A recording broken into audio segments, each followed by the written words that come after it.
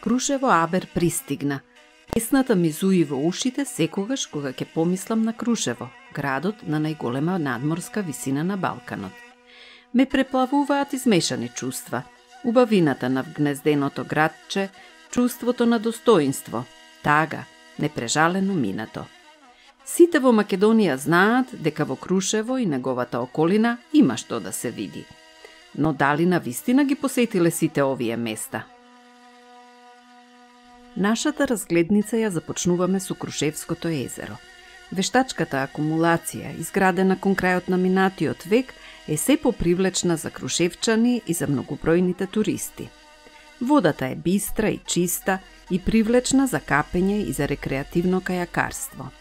Изобилува со риби, паспортскиот риболов и секојдневие. Синото небо и околното зеленило ја исполнуваат гледката – и доловуваат уметничко доживување на просторот наоколу.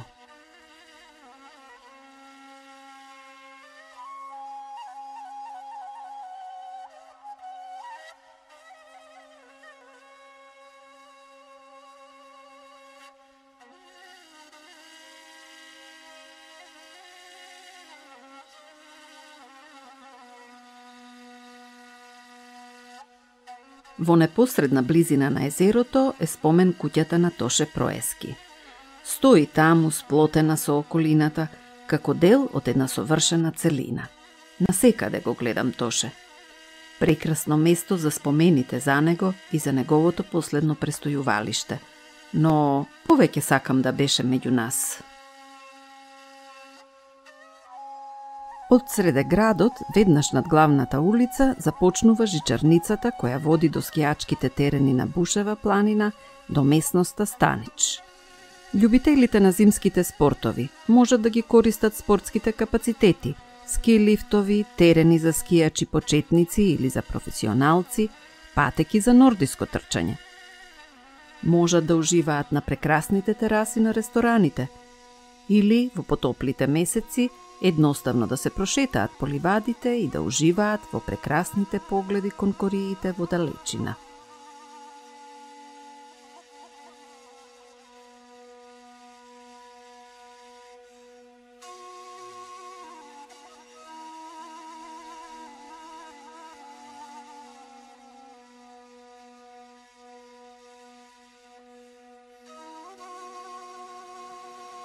На вистина би бил голем пропуст доколку не направите обиколка по околните планински врвови да ја почувствувате ширината на недогледите. Затоа се упативме кон врвот Мусица на преубавата Бушева планина. Природата се уште не беше разбудена, но по некое мало цвеќенце срамежливо навестуваше дека пролета е тука. Од самиот врв се гледаат повеќе планински масиви во Македонија и како на дланка се шират погледите кон голем дел од нашата земја.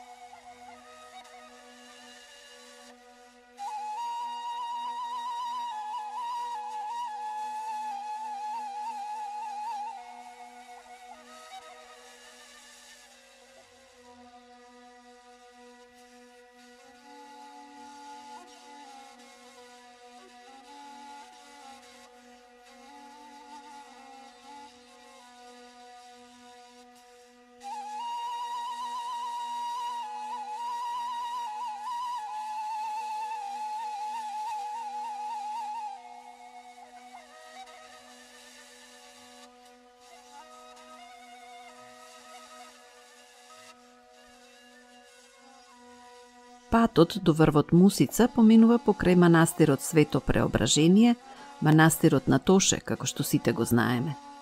Градбата започнала 1986 година и при тоа биле пронајдени остатоци од црква од 13-тиот и од 16-тиот век.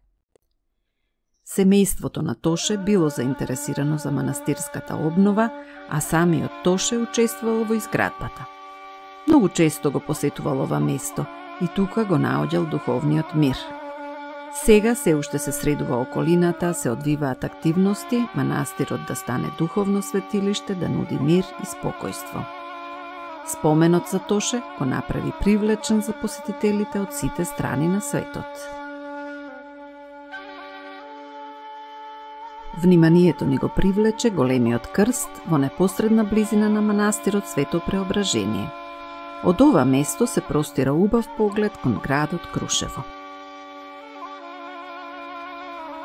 И на крај, неизбежно е да се посетат спомениците со кои изобилува овој напатен историски град.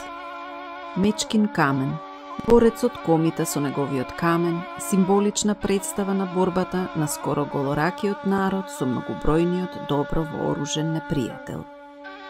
Уште како дете овој простор ме фасцинираше. Како ли само се чувствувале во станиците, чекајки го Аскерот да нападне – со тешки мисли насочени кон своите семејства дома, знаејќи дека веројатно нема веќе да ги видат. Слава им! Споменикот Слива представува символ на јунаштвото и саможртвата на македонските востаници и го обележува последниот одбор на македонскиот народ во Илинденското востание. Слава им! Споменичниот комплекс Македониум или Илинден – е подигнат во знак на сеќавање на Линденското востание во 1903 година против Отоманската империја, но и во чест на борбата на партизаните за слобода во Втората светска војна. Се протега на 12 хектари и формата започнува со раскинати пранги, продолжува преку криптата и колоритната мозаичка сцена, па завршува со купола од каде се протега извонреден поглед кон градот Крушево. Споменикот го означува непокорот, борбата и вечниот стремеж на македонскиот народ за слобода и самостојна држава.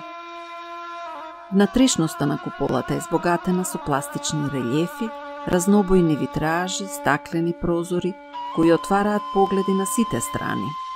Денес во куполата се наоѓа гробот на Никола Карев и споменица и биста на Тоше Проески. Уште многу работи останаа за видување во Крушево. Прекрасната архитектура, музеите, вкусните специјалитети, спортските можности за велосипедизам, параглайдерство, бројните културни манифестации, но нека остане нешто и за друг пат.